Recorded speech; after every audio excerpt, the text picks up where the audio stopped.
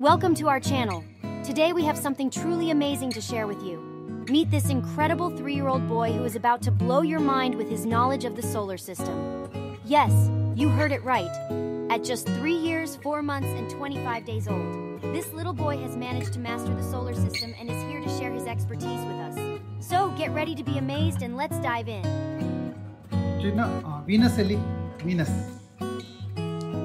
Venus, where is Venus? where is Mercury? Where is Uranus?